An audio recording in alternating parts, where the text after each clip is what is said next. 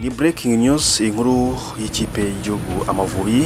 Nongere mbabwire ngo mugubwe neza aho muri mwese mukurikiye half time half time urubuga rubagezaho amakuru y'imikino by'umwihariko anyura no kuri website ya www halftime akadomo rwa amavubi rero muri iki gitondo cyo kuri wa mbere tariki icyenda ugushyingo bibiri na makumyabiri saa ku masaha ya kigali ni bwo ikipe y'igihugu y'u rwanda y'umupira w'amaguru amavubi.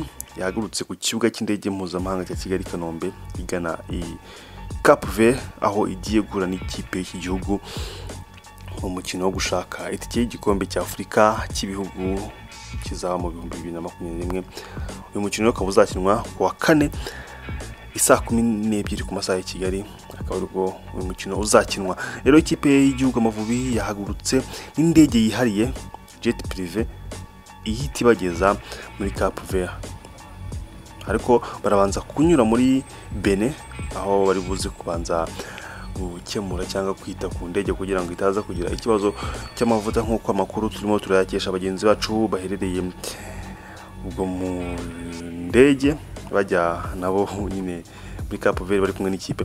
Rero ikipe y'igihugu Amavubi igiye gufata urugendo rw'amasaha ane aho nyuma yo guhaguruka i Kanombe haza gufata urugendo rw'amasaha ane kugira ngo iyi ndege barimo ibanze ihabwe amavuta nyine aho mu gihugu cya Benin babone kuza gukomeza urugendo rw'amasaha andi ane kugira ngo bagere i Cap Vert. Abakinnyi makumyabiri na batatu umutoza amashami Vincent yatoranyije bose mwagiye mubabona mu minsi ishize ndetse no kuri iki cyumweru bagiye batangazwa cyane ahantu hose. Ni abakinnyi rero makumyabiri na batatu bagiye kwifashishwa muri uru rugendo ndetse muri uyu mukino wa mbere uzabera i Cap Vert. Twibutse ko n'undi mukino uzabera mu Rwanda. Rero abakinnyi rero makumyabiri na batatu mashami Vincent afite ku rutonde rwa nyuma ajyanye i Cap Vert. Harimo abanyezamu batatu kimenyi Yves na kwizera Olivier na ndayishimiye Eric Bakame. Abakinnyi bakina inyuma ngo nabugarira. Harimo Manzi Thierry Rwatubyaye Abdul Ombarenga Fitina Imanishimwe Emmanuel Eric Rutanga Mutsinzi Ange Jimmy Nsabimana Aimable Bwiro Hervé abo nibo bakinnyi bakina inyuma. Naho abakinnyi bakina hagati harimo Bizimana Jihad na Mukunzi Yannick Haruna Niyonzima Muhire Keve na Ali Niyonzima Manishim Jaber na Rubanguka Steve ukina muri mu Bugereki. Abataha izamu rero umutoza amashami Vincent yabashije kwitabaza agiye kujyana bayobowe na Meddy Kagere Tuyisenge Jacques Hakizimana Muhajiri yabivuze Oze na Dominique Nshuti Savio.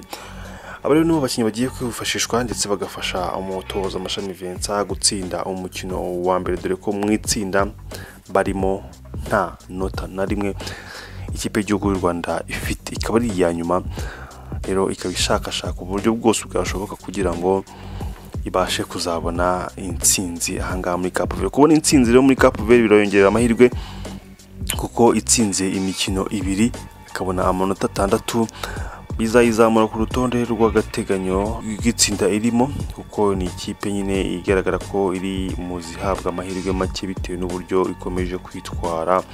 Rero gutsinda uyu mukino bizayiha amahirwe menshi amahirwe menshi yo kongera kugira icyizere cyo kuba yazamuka ku rutonde rw'agateganyo. Bivuze ko ikipe y'u Rwanda iri mu itsinda rya F riyobowe n'ikipe ya Mozambique ifite amanota ane. Ikurikirwa na Cameroon na yo ifite amanota ane. Ikirwa cya Cap Vert kiri ku mwanya wa gatatu n'amanota abiri mu gihe u Rwanda ruheruka. Nta n'atanu. Mu mikino yose ruheruka nta n'atanu nta na rimwe nta na zeru mbese ni ubusa nyine ni ubusa. Na zeru wajya bavuga ko ari umubare. Bivuze yuko rero u Rwanda rugomba gushaka ikipe y'igihugu y'u Rwanda amavubi igomba gushaka hano amanota atandatu muri ino mikino ibiri. Rugiye gukina na Cap Vert bivuze ko rubonye amanota abiri kugira amanota atandatu rushobora no kuba rwaba ruyoboye ku rutonde rw'agateganyo mu gihe rwaba rwitegura kuzakina imikino yo kwishyura ruzahuramo na Cap Vert nako ruzahura na Mozambique ndetse na Cameroon.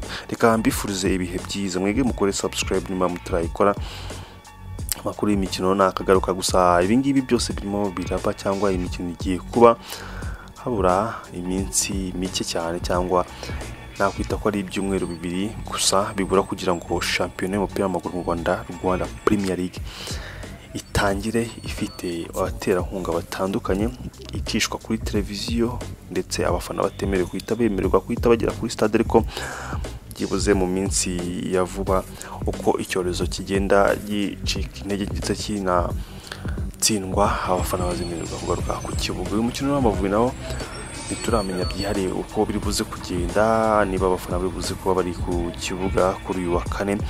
Gusa uko biri kose ni umukino nawo uzaba hakurikijwe amabwiriza yo kwirinda icyorezo cya covid 19 ni umukino nawo wagiye uhindurirwa amatariki hagiye havugwa amatariki menshi cumi n'imwe cumi n'enye amatariki menshi cyane yagiye avugwa ariko birangiye itariki cumi n'ebyiri ni ho uyu mukino uzakinwa ku masaha y'i kigali tuzaba turi saa kumi n'ebyiri. Ni umukino uzanyura ku bitangazamakuru bikomeye hano mu gihugu ndetse na hafu tayimu tukaba tuzabagezaho ripoti y'uno mukino kandi muzaryoherwa. Reka mbasabe gukora sabusikarayibu mbasabe gutanga igitekerezo ndetse n'aho mwifuza ko mwatanga igitekerezo ubutumwa bwagera ku mavubi ubutumwa mwashaka ko bugera ku bayobozi ariko tunaboneraho gushimira abayobozi bashakishije ndetse bafashije ikipe y'igihugu kubona ino jet purive kuko kubona indege indege iri purive indege ikipe igendamo bonyine ukagerayo ako kanya indege ibajyana diregiti indege itajya guca ahantu hatandukanye ngo bajye kuryama bajye gutegereza amasaha bagereyo nyuma y'iminsi ibiri cyangwa itatu. Ni igikorwa cyiza cyane kigaragaza uburyo ubuyobozi bukomeje kwita ku bakinnyi ndetse bitanga n'ubutumwa ku bakinnyi ndetse no kuba bashyigikiye no kuba kumwe na sitafu yose kumenya icyo twifuza ko ari intsinzi twese hamwe reka dutegereze rero ibizava mu mukino mu nyuma y'iminota mirongo icyenda izaba kuri uyu wa kane. Tumenye bizarangira gute? Amahirwe dufite na yahe ese abakinnyi babanjemo ni bande? Gusa tubibutse ko umukino ugiye kuba badafite mone pake keve mone pake rero tukaba tutaramenya impamvu atabashije kuza impamvu zivugwa ntabwo umutoza aragira icyo abivugaho. Ntabwo ubuyobozi buragira icyo butangaza ariko keve munempake impamvu yanze kwitabira ubutumire bw'ikipe y'igihugu Amavubi gusa ibivugwa ni ibihuha niko twabifata. Ntabwo ari amakuru yizewe ariko tuzategereza kugeza igihe bazatubwira impamvu keve munempake ataje ku mukino wa Cap Vert